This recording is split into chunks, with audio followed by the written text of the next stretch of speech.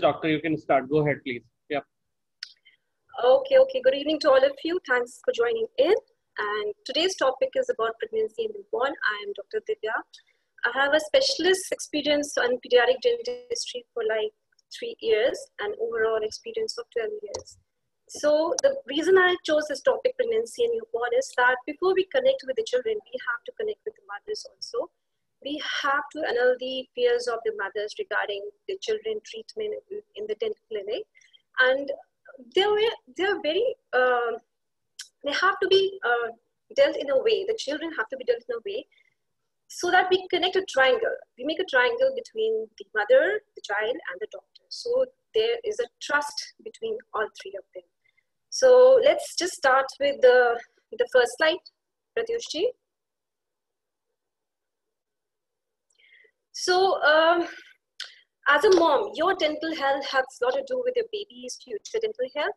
And what we do not understand is the first three months of pregnancy, these are very crucial uh, time.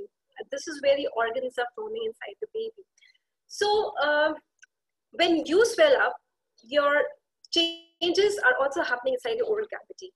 And uh, these include swelling of the gums, which is also known as gingivitis. And it has been noticed, noted like almost 70 uh, percent of pregnant women, they have gum issues or almost 40% of them will be having uh, gum as well as bone issues, which is called as periodontitis or in Hindi we call it paria.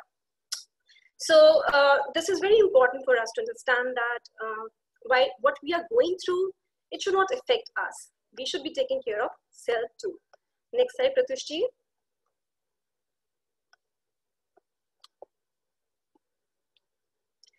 So what happens actually is that you cannot almost blame the uh, hormone progesterone for this.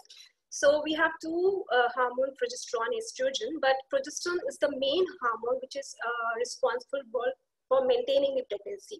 So there is a rapid surge of this hormone and this increases the blood flow to the, uh, to the entire body system and also to the baby.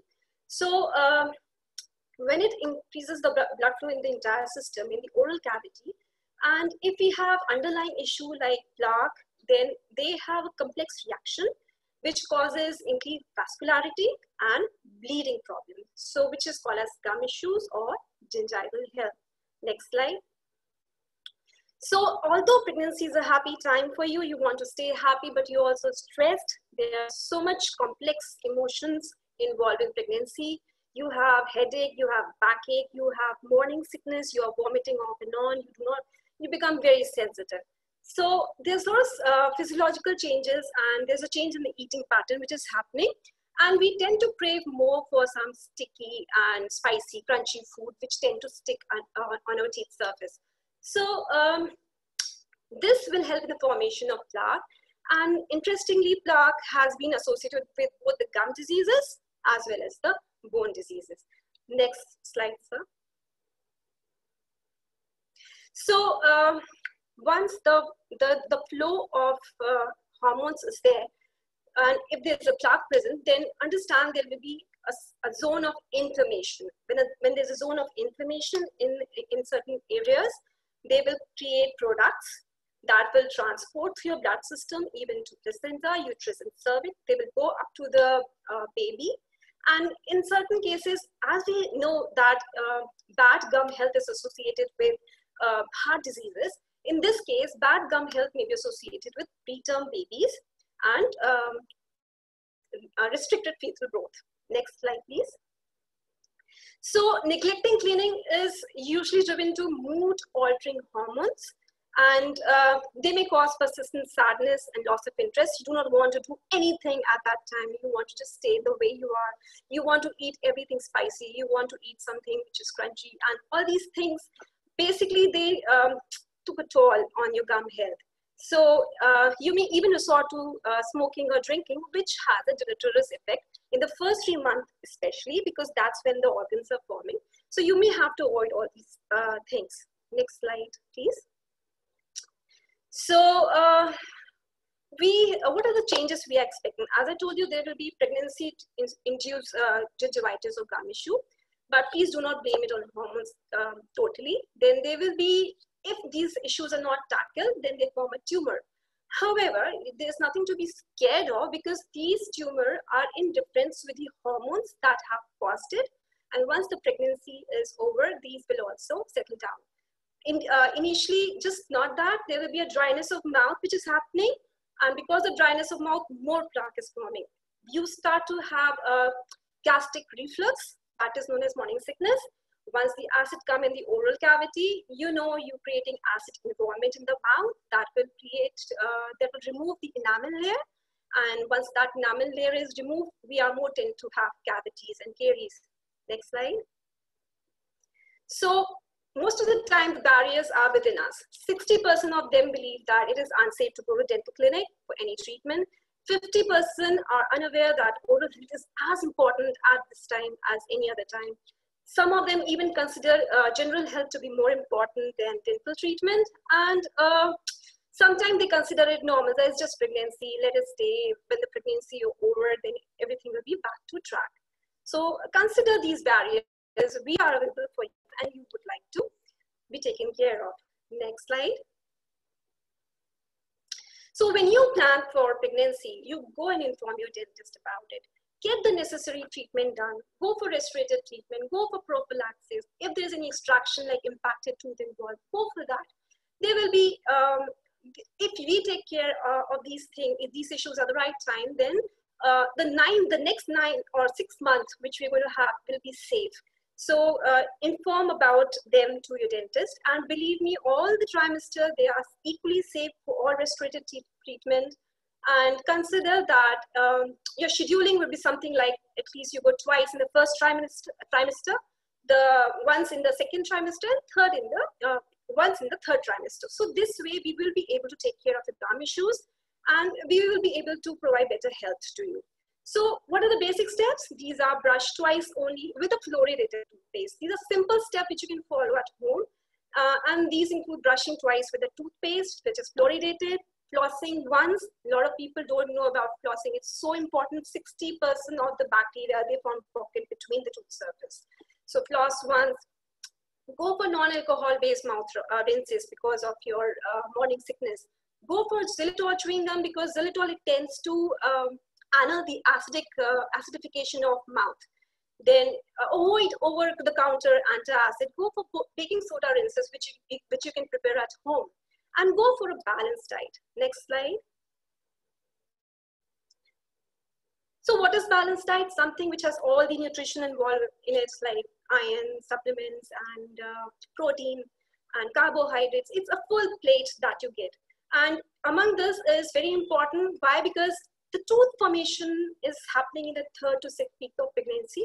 So you would like to choose a healthy diet, which is good for you and your baby. So go for vitamins such as vitamin A and D. They are important for enamel formation of baby. Have vitamin C, which is also now very kind of very popular. So because it increases immunity and uh, you would like to have your full calcium source somewhere around 1200 to 1500 mg because your baby bones are forming. They they will consume calcium from your body. So you would like to have uh, the replacement for that too. If your water fluoridation is not optimum, you may ask your pediatrician or gynecologist about the fluoride supplements and avoid sugar and snack. Go for cereals, fruits, veggies, fish, egg, and meat. Next slide. So as uh, you understand now that mothers play a fundamental role for furthering a good practice and they should have the basic awareness. Uh, they should meet the dentist. If they have any queries, they should ask the pediatrician. They, they can ask the gynecologist about the issues that they're having in the oral cavity, and they will be able to refer them to the right doctor. Next. So communication, you understand, is very imperative. And you understand the fact that babies can, uh, can catch germs from you. So what we call is as vertical and horizontal transmission. Vertical is when you are keeping the baby close and from you the bacteria or germs from your mouth goes into your child's mouth. Then they will form a pocket over there. Horizontal transmission would be something when your uh, siblings are playing together and they're exchanging spoons. So it's very important that you do, do not uh, exchange spoons or cups, always sterile them. And uh, understand that if these germs build up on tooth, they lead to a very common phenomena, which is called as baby bottle uh, tooth decay. Let's see what it is that. Uh, So um, baby bottle tooth decay happens when sweetened liquid or those with natural sugars, they cling to infant teeth for a very long time. Bacteria in the mouth thrive on sugar and they make an acidic environment and that acid attacks on teeth along with germs. So this Stephan curve is very important. See how uh, fast the, uh, the pH of the mouth drops to uh, acidic environment in just two to five minutes and it stays there for a very long time for the decay to take place before it comes back to normal position. So you may have to consider this that whenever you are consuming sweet, starchy food, you wash, you rinse so that your saliva helps in building back the pH back to normal. Next slide. So how do we do, what do we feed? Breastfeed is the key. The latchment mechanism is so important in this case. Breast milk, please understand, does not cause tooth decay there is lactulose, but uh, lactose, uh, but they do not bring the pH down to acidic level. So for the first year of life, from six to 12 uh, months, it's very important uh, that breastfeeding should be given. Next slide. Uh, avoid cow's milk for that uh, matter of fact, because animal feed is for animals, you know, and breast milk is safest and is full of colostrum and immunity building agents. So ADA specifies that you should must you must continue breastfeeding for the first year, and after that, as mutually desired. And WHO considers for two years. And um, whenever you think it's best for the baby to uh, wean off, you should start doing it. But understand the, the, the bottom line is that you do not make the child sleep with the bottle or the breastfeed. That is not the last drink that they should be having. Always complement with water or wash, wash them off. Next slide. So how is breastfeeding important? It's the first natural orthopedic device. When the child is born, the jaw, the lower jaw is 12 mm behind. Once the latchment of child happen with the breast, they start sucking in, the, the TMJ is growing, there's more of anterior posterior motion, there's opening and closing. So all four movements, they help in tone of the mouth, they help in the, uh, uh, the, the, the, the nasal respiration, they increase the breathing capacity, and they they make the change from a back of the jaw to the front of jaw. As you can see, there's a sudden change from uh, breastfeeding. Next slide. So basically, if you just go ahead with the bottle feeding, these motions are not possible, only opening and closing are possible. And what WHO says is that there has been 57% reduction in cavity if the baby is nursed rather than given bottle. And this is how they overall build up the uh, extra, um, the orofacial musculature, they correct the tongue posture. Next slide.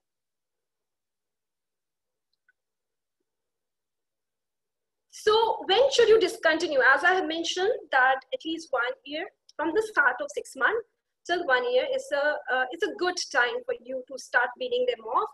Uh, for a bottle feed, it's very important that you must discontinue by 12 months and based on the scientific evidence, it has been seen that if you continue bottle feeding for more than uh, two years, then there are more chances of malocclusion happening. Next slide.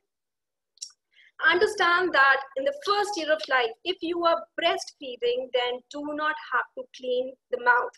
There is a deposit of your milk residues on tongue, which is full of uh. They are full of nutritive agents. You do not want to stop them and uh, but in case of uh, bottle feeding, you may have to consider that you start cleaning them with uh, by the fourth month. But because you have to understand that um, the, the, formula milk, they have constituent of sugar on them and sugar and germs together build up to form dark. Next slide. So what you can do is once you uh, see the tooth in the mouth or once they have a teething problem, you can just use those uh, silicone thimbles and start uh, massaging over the gums. Even that can participate in this activity after cleaning their hands. And uh, use uh, wet gauze, sterile wet gauze to clean up the tooth surface when they start uh, small teeth they appear. And avoid any kind of uh, benzocaine or local anesthetic to help them in teething because these are chemicals that you're introducing. So avoid that. And instead of using uh, sugary, uh, uh, juicy uh, jellies, instead of that, you can use uh, breast milk as soothers. You can uh, freeze them for some time and then use as soothers. Next slide. So this is the timing uh, which uh, you were asking for. Um, see, this this is a common queries for the mothers to ask whether the child is not having the teeth at the right age and what is the problem. So mostly the child, uh, they should understand that uh, teething will vary from six months to maybe one year. Some have a delayed uh, eruption of teeth, which is normal. They should not be so worried about it. And initially, you should know for the fact that the first six months, by the sixth month, they will see the first front two lower teeth, followed by the front upper teeth, and then the laterals will fall in. And accordingly, with the amount of uh, the, the kind of tooth that is coming in your oral cavity, you should also change the diet. So once by six months, you have started to wean off your uh, child from the breast milk, you introduce soft minced diet during that period until the last molars erupt, that is by 20 to 29, that is by three years. So then you can have, they can have the uh, proper uh, meals, you know, like rice and uh, chapati, small chapati, which is softened. So between six months to 29 months, there is a formation of teeth and your feeding and your diet also changes accordingly from soft to normal. Next. So uh, the common problem is why should I worry about taking care of a baby teeth from their uh, elders or from whoever? Are, there's a common problem uh, or notion. Baby teeth are temporary; they will fall off in time. So, uh, but you need to understand that they are there for a reason. They are there for chewing. They are there for speaking. There are certain words like thur, fur. All these require the use of incisors. The, the, the importance of teeth is there and uh, um, they hold a place for the adult teeth to fall in. They are like a natural space maintainers. You want to protect them, but if they're infected, there are more chances of adult teeth falling into their wrong places, crowding happening, jaw infections happening. Why, why would you uh, like to put your child into such infection or any kind of a disease? Believe me, dental decay is infectious, but it is preventable. Next slide. So as I told you, um, these are natural space maintainers. You'll do your best to take care of them. Avoid introducing formula, sugar, juice uh, in the uh, in the first year of the life, and try to keep them away from sippy cup. Do not reward, reward them with sippy cup if they are fussy, um, and at least pacifier should be stopped by the age of six months, maximum by two years. Because uh, next slide, please because we do not want these issues to happen. Both pacifier or, or if a child develop a, a thumb sucking habit, then uh, there are there are changes in the oral cavity, in the, in the dentition happening. The front and the lower teeth, they will uh, they will move ahead. They will um, become spaced and there will be open bites. So you do not want these conditions to be happening. So you have to discontinue the certain habit which are deleterious for the longer run. Next slide. So dental brushing must start when the first teeth erupt in the mouth and you can use small brushes, a small head and curved head with soft nylon. You want to use them in a very small, uh, along with a small part of toothpaste which has a fluoride content somewhere between 1500 ppm and you have to continue that twice daily in the morning and the, in, in the night to build up a routine. In this case, silicone thimble may not be very useful. They do not remove the plaque easily. So good brush, small brush with soft bristles are good. Next slide. This is the AD recommendation and uh, the recommendation says that between first uh, two years of life, just use half a grain size of fluoridated toothpaste. Then from two to four, about rice grain, four to eight years, small pea size, and uh, by the time they are uh, they are under eight years of growth, they can use a normal adult rope on the tooth on the toothbrush. Next slide. So what is the motion? This is a common uh, question that is asked. Brushing technique. Always remember the braid ball and broom. Braid is this is how it goes from top to bottom. So in, in case of uh, cleaning the tooth, it goes from back to front. And in case of ball motion, now braid is practiced on the occlusal table. Ball is practiced on the cheek region. And broom is practiced on the lingual surface. So when you're using a ball motion, it goes in a circular manner. If you're using a broom motion, it will be uh, from the lingual side of the tooth. Next slide. When you're doing that, please remember to wash your hands. Lift up the lip. If you see the state of affairs with the children, you should know that cavities have set in. taken So uh, lift your child upper lip, pull down the lower lip, look at the gums and teeth, examine each part of the teeth, and uh, check for any brown spot or black spot. This is the time when you should visit a dentist, of course, and get them corrected. Next slide. So flossing is something which has to be introduced now. It's uh, been long neglected. So what we consider the notion is that since the, the dentition is spaced, you do not require flossing in children. But the thing is there are children who have non-spaced dentition or when the tooth are in contact. So flossing will basically uh, is effective in removing the biofilm which form and removing any plaque between the tooth surface and enhance the fluoride retention. When you floss and then you brush, the fluoride retention is more. You can use floss in case of children. Next slide. And of course, uh, fluoride varnish is the go-to treatment and is the most effective method of caries reduction. It has been established, established that almost 47% um, it is helpful in, in inhibiting the bacterial attachment. So high caries group are those children which have more than five to six caries in their mouth and they need a full arch varnish treatment for next three months. And moderate ca- caries would be somewhere around two to four caries. Every six months is the protocol for um, varnish uh, treatment, whether they are getting water fluoridation or not. Low risk uh, maybe having one or two cavities that can be done every yearly or biannually. Next treatment, uh, next slide, sorry. So basically understand that what we have learned is that milk teeth are temporary. And why should the child go through a stressful situation in a dental clinic? Because they are not cooperative according to you, but you have to understand that caries do not understand your cooperation level or child cooperation level. And they will happen, and if they happen, is going to eat up the entire tooth. So why should child suffer from malnutrition because of the inability to choose certain foods? So uh, you have to understand the importance of dental treatment in this regard. Next slide. Understand the hidden sugars. What, what all the moms say is my baby doesn't eat chocolates or candy. Why is he uh, having cavities? So what the market is telling you is healthy in notion, but what is hidden is what you do not know try not to award uh, uh, them for doing good things by giving them chocolate and cookies. If you run out of food, give them toys instead. Give them something to learn instead. Once they get the flavor of these sugar and salty food, it's very hard to limit them. They will start, if you start consuming juices in the first six months, they will have the sugar taste, they will not have natural fruit. So you have to make them um, understand this fact that you should not introduce sugar and salt in the first year of life and slowly and slowly build up to that. So try to not, uh, try to give non-cavity causing substance like snacks such as cheese or popcorns when they're good enough to chew on snacks. Next slide.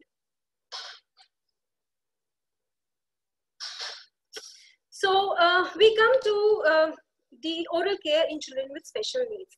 So basic uh, cleaning schedule operation, uh, cleaning techniques are almost same, but it is about the handling. Why? Because uh, you are dealing with kids who have locomotor issues, you, who have neuromuscular issues, and you want to take care that they do not have any discomfort during that.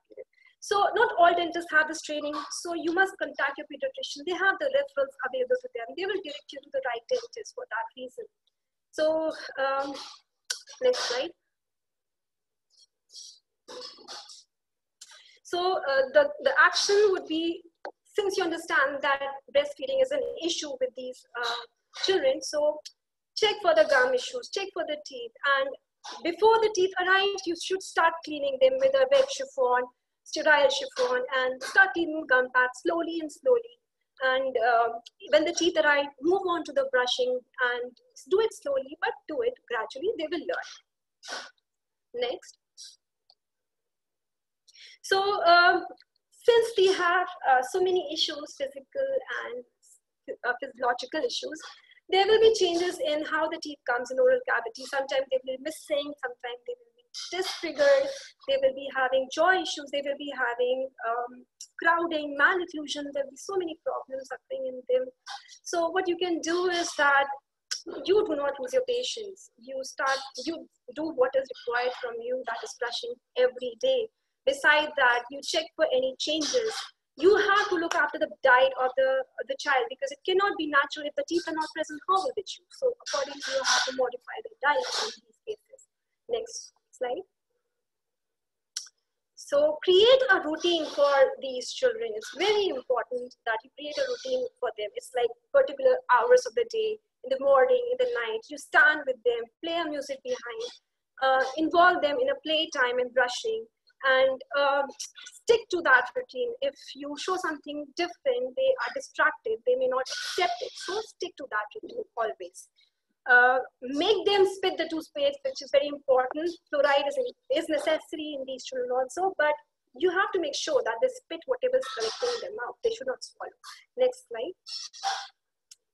So when you're dealing with children with special needs, so you do not want to force them. You do not bring a negative uh, uh, attitude towards brushing. You want to bring in a positive positivity about brushing their teeth. Sometimes they think it's a waste of time. Sometimes they think it's annoying. But you have to bring that into the children, life. stand, uh, tell them about um, simple techniques of brushing. And if you're dealing with them, make them lie down, uh, take care of their extremities, support the extremities in these cases, and slowly and slowly bring in the brushing motion, support the jaw with the interstinger, remove the upper lip with the help of your thumb, and then uh, check and do the brushing. So uh, supporting of the child is very important in these cases. And always preventing, prevent that you should not take the, uh, the, the, toothbrush to the uh, back side of the jaw because there are more chances of heightened gag reflex. Next slide. So how can you adapt a child toothbrush? Because since they do not have a very firm grasp and uh, it's not very sharp grasp that they have. So you have to adapt it according to their needs. You may be needing a tennis ball, bicycle handle, or even a Velcro strap. Make a customized handle by using uh, uh, impressions and uh, even now we have electric toothbrush available. So they just put them on and they do the round motion and the forward backward motion. You just have to introduce them slowly. Next slide. Basically, uh, the introduction of those toothbrush is important. So when you just uh, simply introduce them, they will be alerted, they'll be alarmed. So do it slowly by putting them on the skin, then putting them on their uh, cheeks, then on the lips, and then slowly introducing into the teeth. Next slide.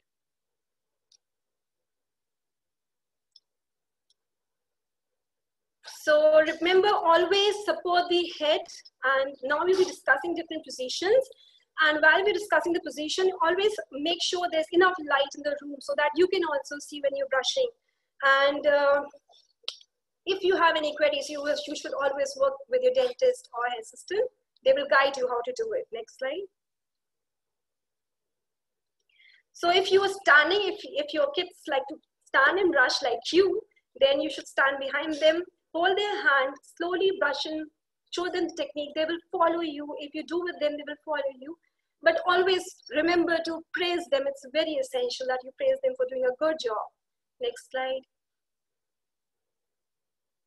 If they're sitting on the floor, remember to um, support the extremity. Put a pillow at the back of their head. Put the pillow at, uh, below their legs and tilt the head a little behind. Sit in at the back of them. Hold them with your arm keep them between your legs so they are supported and then slowly do the brushing actions. Next. If they're lying on the floor, though I am not very uh, happy with this posture reg uh, regarding the the child tendency to swallow in, but using a very small amount like a smear or a rice cake, you can always take care of, of cleaning them also.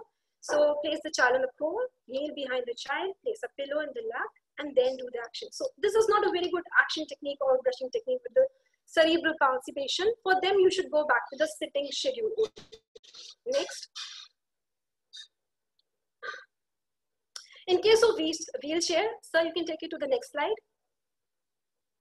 So these are the four ways you can uh, deal with uh, with patients who have or child who have uh, weak extremities. So in this case, um, when if you're standing behind a wheelchair, you can just support the chin and raise the lip and then do the brushing. Put some cover in front of the chest so that if by chance you're spitting or drooling, it will collect on the cloth. And in case if you're sitting and doing it, then first uh, fix the chair and then tilt it.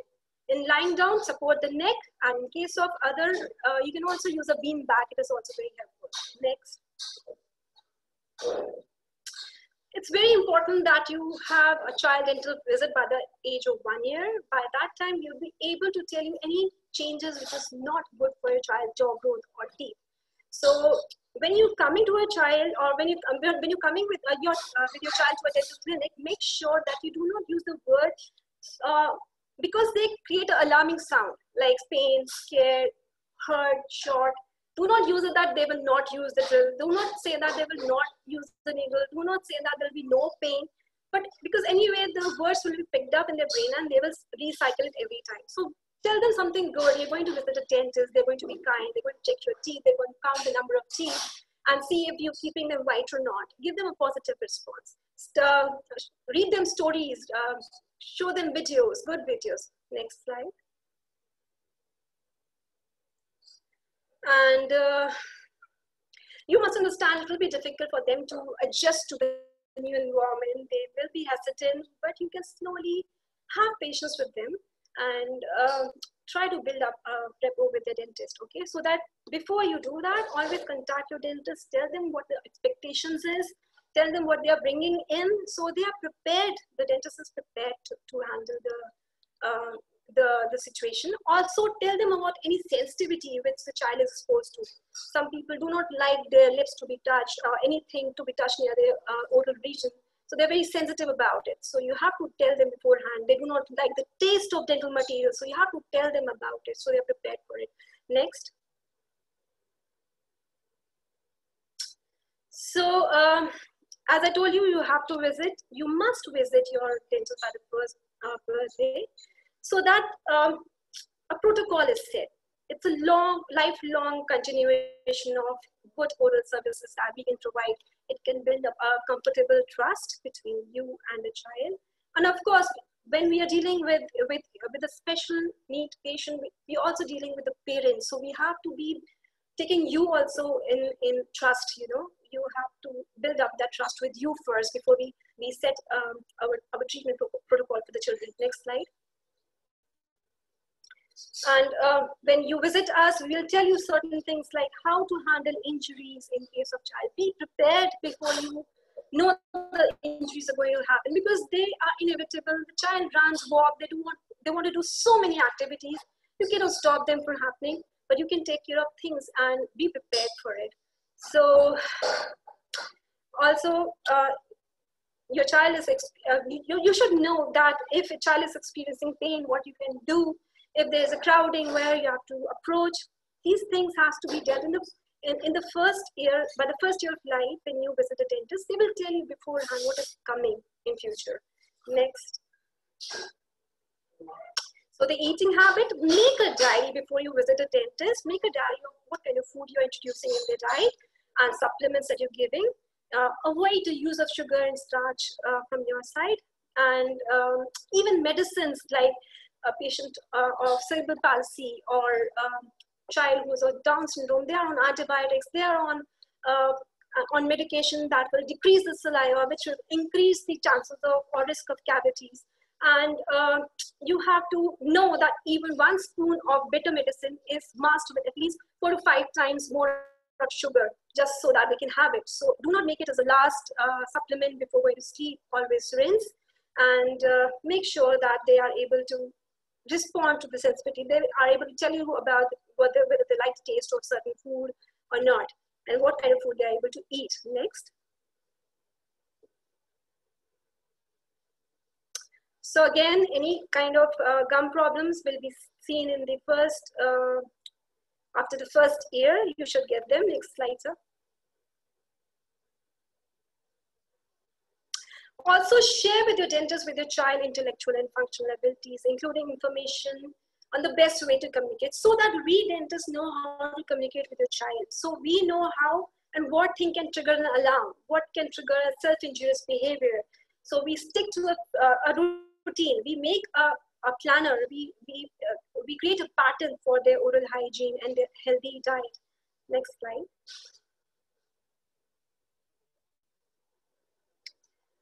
And help your child visual, uh, visualize what, uh, what the visit of dentist would be like in an enthusiastic way. And praise and reinforce whatever positive behavior they show, but try to ignore the negativity if they try to run away from the chair and do not scold them. They are just new to the new environment. They, they, um, they want to get used to it also, but for them, it's, it's going to be a long time. So minimize the number of distraction.